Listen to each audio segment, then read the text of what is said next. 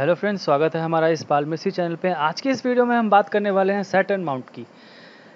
ये वीडियो आज इसलिए ज़्यादा इंपॉर्टेंट है क्योंकि ऐसा माना जाता है कि सैटर्न माउंट जिस किसी के भी हाथ में काफ़ी प्रोमिनेंट होता है डेवलप्ड होता है, वैसे व्यक्ति काफ़ी जज जजेबल पर्सन होते हैं, दूसरों को जज काफ़ी अच्छे से कर पाते हैं। अपने life career decision wife spouse husband जो भी चीज़ें हैं करियर से रिलेटेड जॉब से रिलेटेड या फिर कुछ भी डिसीज़न लेते हैं वो लोग। वो काफ़ी सोच समझ के लेते हैं, काफ़ी पोटेंशियल होता है उनमें। ऐसा सैटन माउंट का माना जाता है। साथ ही साथ ये भी माना जाता है कि अगर हथेली में आपका सैटन माउंट डेवलप्ड नहीं है और बाकी आपका सभी माउंट डेवलप्ड है जुपिटर हो गया अपोलो हो गया मर्क्यूरी हो गया वीनस हो गया लूनर हो गया आपका मार्स माउंट भी अगर डेवलप माना गया है, लेकिन सैटर्न माउंट डेवलप्ड नहीं है। तो ऐसा माना जाता है कि ये सब माउंट डेवलप्ड होने का कोई मतलब नहीं बनता। तो सैटर्न माउंट बेसिकली यही दर्शाता है कि आपका जो लाइफ चल रहा है, वो बैलेंस है कि नहीं? सब कुछ प्रॉपर वे में चल रहा है कि नहीं? जैसे इस तरह से अगर मान लूँ कि आपका जुपिटर माउंट काफ़ी ज़्यादा ही उभरा हुआ है सैटर्न माउंट थोड़ा दबा है तो बताता है कि जुपिटर माउंट ज़्यादा ना उभर के सैटर्न माउंट इसे इंडिकेट करती है। कि आप ज़्यादा ही उठे हैं तो इसे बैलेंस करके चलना होगा। तो सैटर्न माउंट बेसिकली हमें जजमेंट सिखाता है, हमें अपने लाइफ को किस डायरेक्शन में लेके जाना है वो सिखाता है। बाकी और भी जो जुपिटर माउंट्स हो गए या फिर और भी जो हथेली में माउंट्स होते हैं, उन सबको प्रॉपर बैलेंस्ड कैसे करना है, ये बेसिकली सैटर्न माउंट में पाया जाता है। तो हम एक एक करके हर एक चीज़ डिस्कस करेंगे।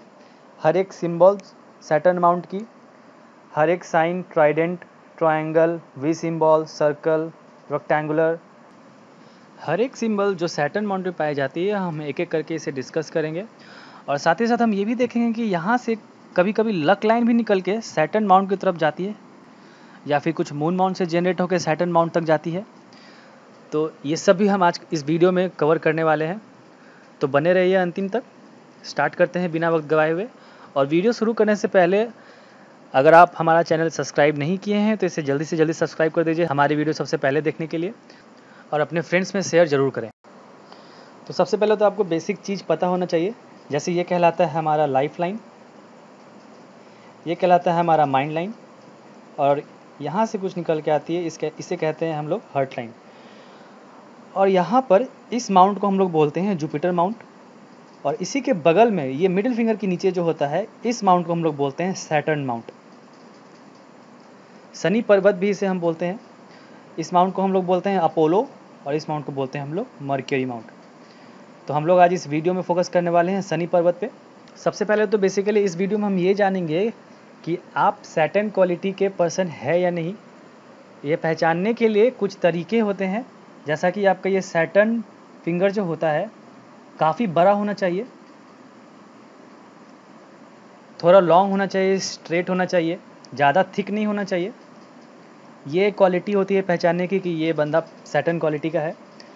दूसरा क्वालिटी होता है कि आपका जो सैटर्न माउंट है, ये काफ़ी प्रोमिनेंट होना चाहिए फ्लफ़ी होना चाहिए पेट्रूडेड होना चाहिए, थोड़ा उठा हुआ होना चाहिए और पिंकी सिम कलर होना चाहिए। ये जो कलर है, ये पिंक कलर का होना चाहिए। लाइट पिंक हो गया थोड़ा। और साथ ही साथ यहाँ पर एक सिंगल वर्टिकल लाइन होना चाहिए। स्ट्रेट जो होता है। तो ऐसा कुछ सिंबल है, अगर आपके हाथों में तो आप सैटर्न क्वालिटी के पर्सन हैं। आपका नेचर पूरा सैटर्न क्वालिटी पे जाता है। जिस किसी के भी शनि पर्वत पे एक सीधी रेखा होती है, और साथ ही साथ वो शनि पर्वत काफ़ी उभरी हुई होती है डेवलप्ड होती है पिंक इन कलर होती है तो वैसे नेटिव को हम बोलते हैं कि वो विजडम को अट्रैक्ट करते हैं। अकेले रहना वो नेटिव काफ़ी ज़्यादा पसंद करते हैं और ये ऐसे नेटिव जो होते हैं हार्ड वर्किंग काफ़ी मेहनत करते हैं, मेहनत करने से कभी पीछे नहीं हटते ऐसे नेटिव और अगर आपके हाथ में ट्रायंगल का सिंबल हो गया, या फिर आपका वी सिंबल हो गया, या फिर आपका कुछ डेल्टा जैसा फॉर्मेशन हो रहा है, कुछ इस तरह से तो ये सब सैटर्न क्वालिटी पर्सन मानी जाती है और ये सब काफ़ी अच्छी इंडिकेशन होती है, अगर ये सैटर्न माउंट पे पाई गई है तो। ये, अगर ये तीन चीज़ या फिर तीनों में से कोई एक चीज़ भी आपके सैटर्न में है तो वैसे नेटिव को बताता है कि उनके हाथ में ज़मीन जायदाद से रिलेटेड प्रॉपर्टीज़ बहुत ही होती है।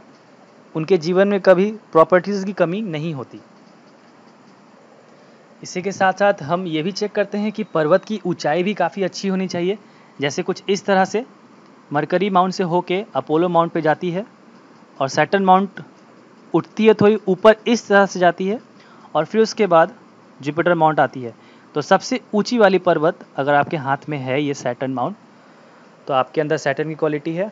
ऐसे नेटिव को हम बोलते हैं कि बैलेंस नेचर के वो पर्सन होते हैं ज़्यादा। लाइफ को काफ़ी बैलेंस लेके चलते हैं। प्रोसेस जो जो काम करते हैं अपने जीवन में, वो बार बार चेक करते हैं रेक्टिफाई करते हैं, क्या गड़बड़ है, क्या गड़बड़ नहीं है। और साथ ही साथ, उस काम में कभी जल्दबाजी उनका नहीं रहता। डीले करते हैं, सोच समझ के काम करते हैं। डिसीज़न हमेशा परफेक्ट लेते हैं। नेचर काफ़ी साइकोलॉजिकल होता है, दूसरों को जज करते हैं ये लोग।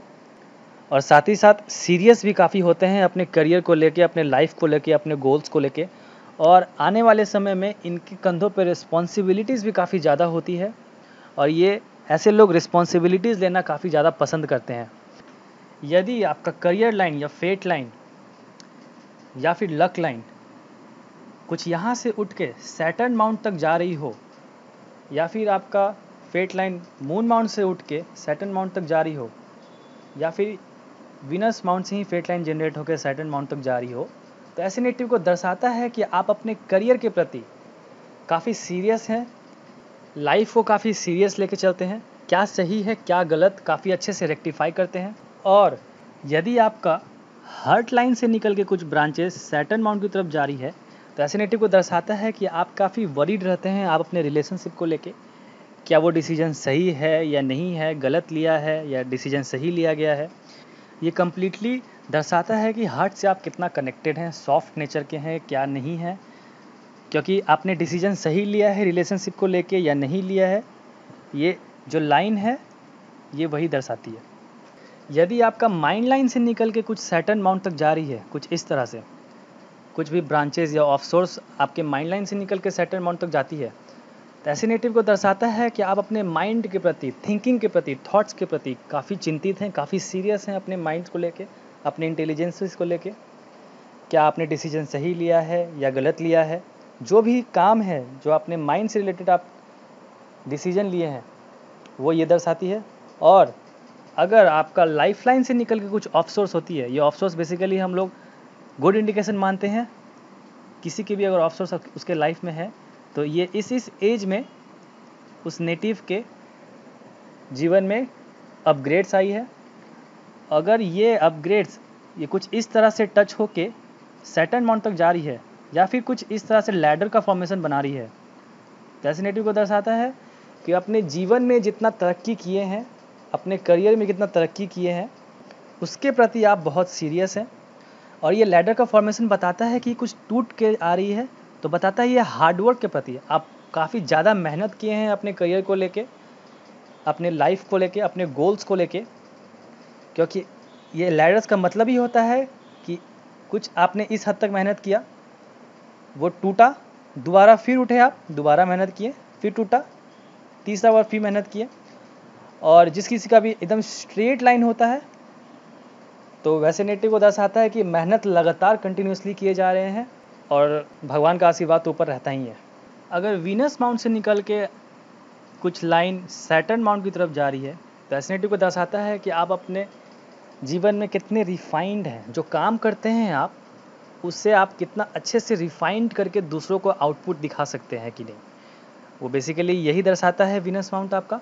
विनस माउंट ये भी दर्शाता है कि आप कितने बोल विचार में, कितने स्वीट हैं, कितने एट्रैक्टिव हैं दूसरों के प्रति। ये काम होता है वीनस का। मार्स माउंट का मतलब होता है कि आप कितने एक्टिव हैं अपने करियर को लेके, अपने काम को लेके। एग्रेशन भी कभी कभी ज़्यादा हो जाता है। अगर मार्स माउंट में काफ़ी कुछ क्रिस क्रॉस वाली रेखाएँ होती हैं और साथ ही साथ कुछ रेखा सैटन माउंट की तरफ़ जाती है तो ये एग्रेशन का भी इंडिकेशन होता है। और यदि अगर आपके सैटन माउंट में कुछ रिंग जैसी आकृति बन रही हो, कुछ इस तरह से तो ये दर्शाता है कि आपको सैटन क्वालिटी होने से रोक रही है। और साथ ही साथ ये भी दर्शाता है कि आपके दिमाग में जो आइडियाज़ आते हैं या कुछ थॉट्स आते हैं तो वो तुरंत आप जंप करते हैं। सडन एक्शन लेते हैं, तुरंत होते हैं। तो ये सैटन क्वालिटी के पर्सन को नहीं माना जाता क्योंकि ये रिंग ब्लॉक करती है सैटन नेचर को। और जिस किसी का भी हाथ में सैटन माउंट काफ़ी अच्छा होता है तो वैसे नेटिव को दर्शाता है कि उनकी जो शादी होती है, थोड़ी लेट होती है, क्योंकि वैसे लोग अपने जीवन में हमेशा खोज करते रहते हैं ट्रुथ का खोज करते हैं ट्रस्ट का खोज करते हैं रियल पर्सन को पहचानते हैं, उनका नेचर देखते हैं। तब सोच समझ के अच्छे से डिसीज़न लेते हैं, क्या ये सही है, क्या गलत। करेक्ट पाथ चुनते हैं। ये कुछ थी अच्छी चीज़ें सैटर्न से रिलेटेड लेकिन सैटर्न हमें बैड क्वालिटीज़ भी देती है। अगर आपके हाथ में एक से अधिक लाइन हो, ये कुछ इस तरह से, और अगर आपका सैटर्न माउंट कुछ येलोइस कलर है तो ऐसा इंडिकेशन हमें पालमिस्ट्री में बैड माना जाता है। अगर आपका एक से अधिक लाइन है और साथ ही साथ आपका माउंट जो है येलो इन कलर होता है तो वैसे नेटिव को दर्शाता है कि वो थोड़े डिप्रेशन में ज़्यादा रहते हैं एक्सट्रीमली अलोन फील करते हैं अपने आप को। और साथ ही साथ अगर फैमिली का प्रेशर रहे ऊपर से या फिर दोस्तों का प्रेशर रहे करियर से रिलेटेड कुछ सक्सेस ना मिल रहा हो सुसाइड करने का भी नीयत आ जाती है, क्योंकि सैटर्न माउंट शनि ग्रह ही काफ़ी ज़्यादा डेंजरस होती है। और ऐसे लोग काफ़ी ज़्यादा ही सेंसिटिव होते हैं एक्सट्रीमली रिस्पॉन्सिबल होते हैं अपने काम को लेके। और कुछ बात कर लूँ यहाँ पे सैटन से रिलेटेड अगर ये माउंट आपका थोड़ा दबा हुआ है फ्लफ़ी नहीं है, अंदर की तरफ़ है येलोइस कलर है, या फिर आपका जो माउंट है, ये कुछ उठ रही है, ये भी उठ रही है ये तुरंत सडन नीचे हो गई, फिर ये उठ रही है तो ये सैटन माउंट थोड़ा दबा है वीक है, ख़राब है तो अंडर डेवलप्ड सैटन माउंट बोलते हैं। तो ऐसे नेटिव को दर्शाता है, थोड़े ऑप्टोमिस्टिक अप्रोच होता है इनके जीवन में। आइलैंड जैसी आकृति कुछ बन रही हो यहाँ पे, या फिर कुछ मेस जैसा कुछ आकृति बन रहा हो, कुछ इस तरह से मैं आपको शो करके दिखाता हूँ। कुछ आइलैंड जैसी आकृति, कुछ इस तरह से आकृति बन रही हो, या फिर कुछ मेस जैसा शो मेस जैसी इंडिकेशन बन रही हो, या फिर कुछ हॉरिजॉन्टल लाइंस हो, कुछ इस तरह से, ऐसा। या फिर कुछ क्रिस क्रॉस हो, कुछ इस तरह से, कुछ ज़्यादा ही क्रिस क्रॉस कटी हुई हो तो ऐसी इंडिकेशन काफ़ी ख़राब मानी जाती है। वैसे लोग काफ़ी डिप्रेशन में होते हैं। रिस्पॉन्सिबिलिटी इनके कंधे पर ज़्यादा होती है। प्रेशर ज़्यादा लेते हैं और ये ज़्यादा प्रेशर होने के कारण झेल नहीं पाते। तो अंतिम डिसीज़न इनका हो जाता है। अकेला रहना, दूर हटना फैमिली से और कुछ ज़्यादा प्रेशर होती है तो सुसाइड का भी केस ज़्यादा होने का चांसेस होता है। इसीलिए बार बार बोला जाता है कि सैटर्न माउंट को आप हमेशा बैलेंस लेके चलें, क्योंकि सैटर्न माउंट अगर आपके हाथ में काफ़ी अच्छी है तो आपका जितना भी माउंट है, काफ़ी बैलेंस होकर चलेगी। अगर सैटन माउंट वीक है तो आपका जितना भी माउंट है अनबैलेंस्ड रहेगी। जैसे आपका जुपिटर माउंट काफ़ी स्ट्रांग हो गया है, और वीनस माउंट वीक है तो जुपिटर माउंट आपका अगर स्ट्रांग हो गया है तो आप एम्बिशियस है अपने लाइफ में इम्प्लीमेंट भी कर पा रहे हैं, लेकिन दूसरों के प्रति अट्रैक्ट नहीं कर पा रहे हैं रिफाइन नहीं कर पा रहे उस काम को। अगर इसी तरह से अगर आपका मरकरी माउंट वीक है अपोलो माउंट अच्छा है तो नेम और फेम मिलेगी अपोलो माउंट में। लेकिन मरकरी माउंट से अगर आप बिज़नेस कर रहे हैं या कुछ काम कर रहे हैं, उसमें घाटा हो सकता है। उसी तरह से अगर आपका मरकरी अच्छा है, अपोलो वीक है तो नेम और फेम नहीं मिलेगी। लेकिन बिज़नेस जो कर रहे हैं, वो काफ़ी अच्छा होगा। तो इन सबको सुधारता है आपका सैटन माउंट। सैटन माउंट पे काफ़ी फोकस करना पड़ता है हमें। और साथ ही साथ न्यूमेरोलॉजी के बेसिस पे अगर बात करूँ तो डेट एट सेवेंटीन और ट्वेंटी सिक्स में जो बॉन्ड हुए हैं, कोई भी मंथ रहे, कोई भी ईयर रहे, लेकिन डेट जो होगी एट सेवनटीन या ट्वेंटी सिक्स वैसे नेटिव को बेसिकली माना जाता है कि वो सैटर्न नेचर के होते हैं। वो कंफर्म करने के लिए आप अपने हाथ में चेक कर लें। जैसे कि मैं इस वीडियो में बताया हुआ हूँ कि आपका सैटर्न अच्छा है या बुरा है। जिस किसी का भी सैटर्न बुरा होता है, शनि का दोस्त लगता है तो सैटर्न को सुधारी भी जाती है, बहुत सारी रेमेडीज़ होती है। तो फ्रेंड्स ये कुछ थी सैटर्न माउंट से रिलेटेड कुछ बातें। आशा करता हूँ आपको ये वीडियो पसंद आई होगी। पसंद आए तो आप इसे लाइक करें सब्सक्राइब करें, अपने फ्रेंड्स में शेयर करें। और अगर आप भी चाहते हैं अपने हाथ की एनालिसिस करवाना, नीचे दी गए लिंक डिस्क्रिप्शन पर क्लिक करें। वहाँ पर मिलेगी आपको मेरी इंस्टा आई आप मुझे पर्सनल मैसेज करें, मैं आपके हाथ की एनालिसिस कर दूँगा। पर याद रहे कंसल्टेंट पेड है। तो तब तक के लिए गुड बाय